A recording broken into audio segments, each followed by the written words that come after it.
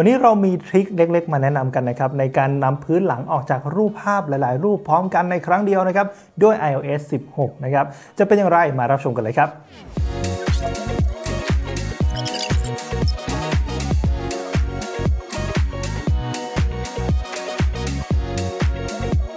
สำหรับ iOS 16 นะครับเขามีฟีเจอร์ที่เรียกว่า Virtual Lookup นะครับที่เราสามารถดึงตัวแบบนะครับออกมาจากรูปภาพได้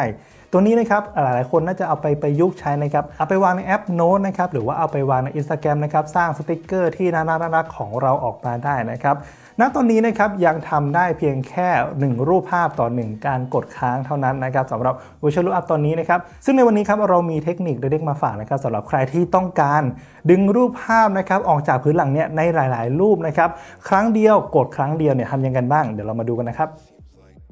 โอเค เดี๋ยวเรามาดูกันเลยนะครับ วิธีทำก็ง่ายๆครับ ให้เราเข้ามาที่อัลบั้มของเราก่อนนะครับ เลือกรูปที่เราต้องการนะครับตัวนี้ถ้าจะให้แนะนำนะครับ ก็สร้างเป็นอัลบั้มเอาไว้จะสะดวกสบายนะครับสำหรับตอนนี้ผมสร้างอัลบั้มรูปของน้องแมวเอาไว้นะครับ ก็จะเป็นตรงนี้เลยนะครับ จากนั้นนะครับให้เราเลือกรูปภาพทั้งหมดนะครับ เสร็จแล้วเลือกที่มุมซ้ายล่างนะครับ จากนั้นนะครับให้เรากดไปที่บันทึกไปยังแอป Files ครับ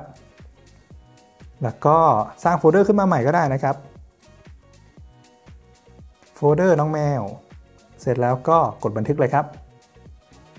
รอสักพักนะครับ รูปภาพทั้งหมดที่เราเลือกก็จะเข้าไปอยู่ในแอป Files นะครับ หลังจากนั้นให้เราเข้าไปยังแอป Files ในโฟลเดอร์ที่เราตั้งเอาไว้นะครับ เราก็จะพบรูปที่เราย้ายออกมานะครับ หลังจากนั้นกดเลือกรูปที่เราต้องการที่จะดึงพื้นหลังออกนะครับ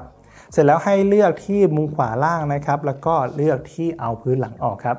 หลังจากนั้นนะฮะเราก็รอสักพักหนึ่งครับ แล้วก็ระบบก็จะทำการดึงเพื่อหลังออกเลยตรงนี้นะครับอ่านะฮะซึ่งตรงนี้เนี่ยรูปภาพจะยังอยู่ในแอปไฟล์อยู่นะครับ หากเราต้องการดึงไปยังโฟลเดอร์นะครับที่เป็นอยู่ในรูปภาพหรือว่าโฟโต้ของเราก็ทำได้ง่าย ๆ ครับ เลือกรูปที่ต้องการนะครับ เสร็จแล้วกดที่มุมซ้ายล่างนะครับ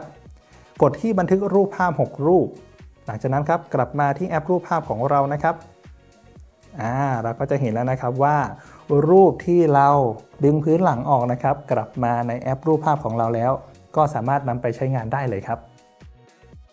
จากที่ลองมานะครับฟีเจอร์ตัวนี้ก็ถือว่าตอบโจทย์ครับ เพราะว่าเราสามารถดึงพื้นหลังนะครับออกจากรูปภาพเนี่ยได้หลาย ๆ รูปในครั้งเดียวเลยนะครับ ซึ่งการดึงพื้นหลังออกจากรูปภาพตัวนี้เนี่ยก็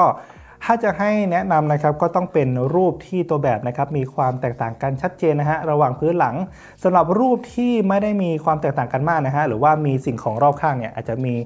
สิ่งของที่มันติดเข้ามากับตัวแบบด้วย ก็ลองไปใช้งานกันดูนะครับสำหรับฟีเจอร์นี้ ก็ถือว่าเป็นทริคเล็กๆที่มาแนะนำให้เราไปใช้งานกันนะครับสำหรับวันนี้ หากชอบคลิปนี้ครับ อย่าลืมกดไลค์กดแชร์กดติดตามช่องไอมดออฟฟิเชียลเป็นกำลังใจให้ทีมงานกันด้วยนะครับสำหรับวันนี้ผมหนึ่งไอมดขอตัวลาไปก่อน ไว้เจอกันคลิปหน้า สวัสดีครับ